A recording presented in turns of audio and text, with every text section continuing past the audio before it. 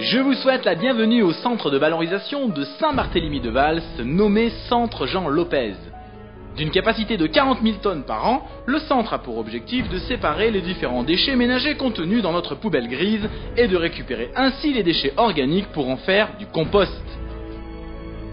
Je me présente, Monsieur Trium, ingénieur responsable du centre. Mais ne tardons pas avec les présentations et place à la visite. À leur arrivée sur le site, les camions de collecte en provenance des communes du nord du territoire du Citrade sont pesés et contrôlés avant d'accéder à l'enceinte du bâtiment pour y déverser leurs déchets. Il s'agit du module contrôle d'accès.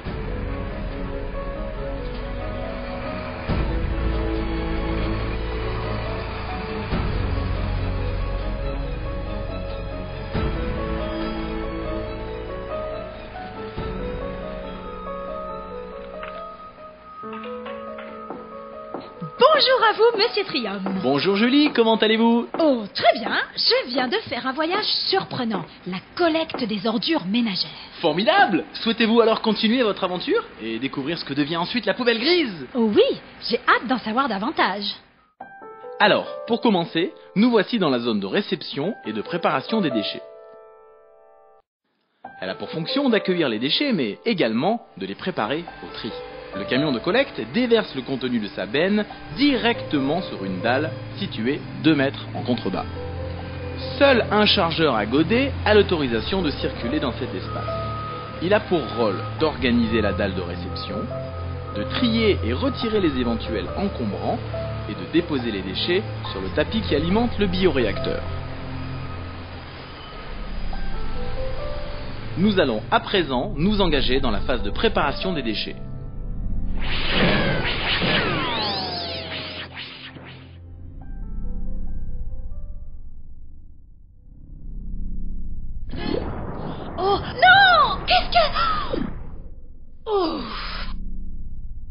Mais où suis-je?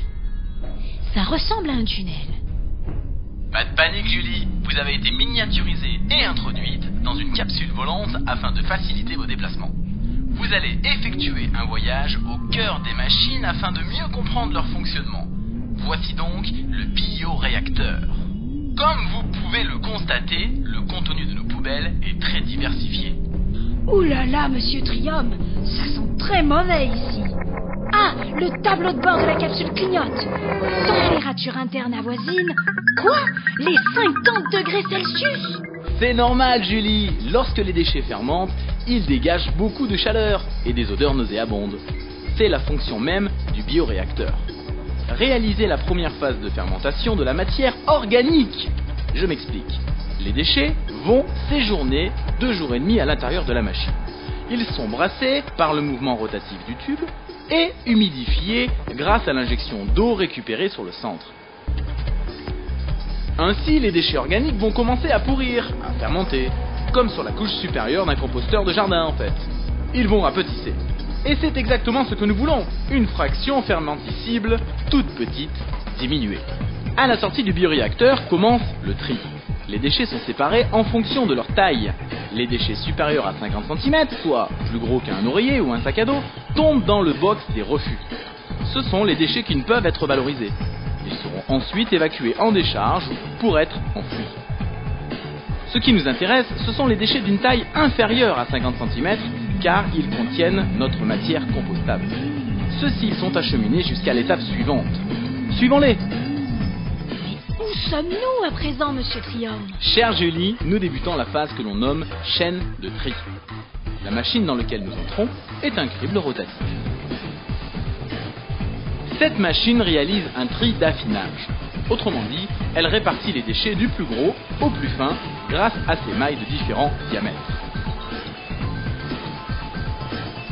Au bout du crible, les mailles distribuent sur les tapis les déchets supérieurs à 3 cm, plus gros qu'une balle de ping-pong. D'un côté, nous récupérons les déchets combustibles, qui ont la particularité de brûler très facilement et de produire ainsi de la chaleur. Bout de tissu, sac plastique voyagent donc ensemble vers la même destinée, pour être un jour transformés en énergie. De l'autre côté, nous avons les déchets métalliques. Un aimant ou overband attire les déchets métalliques ferreux tels que les couvercles ou les capsules. A l'inverse, Un courant de Foucault expulse de la chaîne les déchets métalliques non ferreux comme l'aluminium, le cuivre, le chrome. Ces déchets seront ensuite recyclés suivant leur catégorie en machine à laver, boule de pétanque, chaise, cadre de vélo. Nous voici enfin à l'étape concernant nos déchets organiques compostables. Il s'agit cette fois-ci des déchets de taille inférieure à 3 cm. Une fois sur le tapis, cette fraction va subir deux tris successifs. Tout d'abord, le crible trampoline. Celui-ci a pour fonction de tamiser les déchets, afin d'en extraire la fraction la plus fine, c'est-à-dire celle inférieure à 1 cm. Les déchets les plus gros, gravats, bouts de porcelaine, rebondissent quant à eux sur les mailles et sortent de la chaîne. Mais qu'advient-il de notre toute petite fraction? Afin de finaliser l'affinage de notre toute petite fraction et obtenir une matière compostable saine, intervient ensuite un séparateur balistique. Il permet de trier les déchets en fonction de leur poids. En particulier, ce qui nous intéresse ici, c'est de pouvoir récupérer la matière la plus légère. Le long des échelles du séparateur balistique, les déchets les plus lourds, bouts de verre ou plastique, tombent alors dans les box des refus, tandis que les déchets les plus légers s'envolent vers le box des OMT.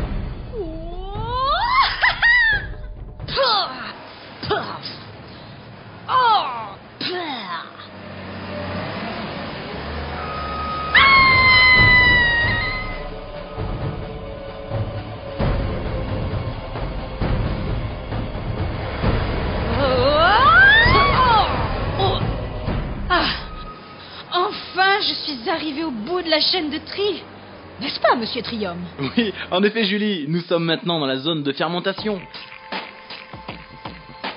Cette zone comporte huit couloirs de dimension égale, au début desquels sont déchargés les déchets organiques précédemment isolés par la chaîne de tri.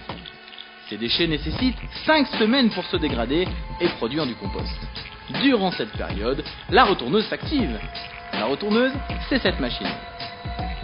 Elle joue un rôle vital dans la transformation finale des déchets organiques en compost.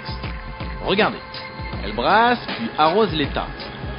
Les tas sont ainsi aérés et humidifiés afin que les bactéries contenues à l'intérieur et à l'origine de la transformation de la matière puissent survivre.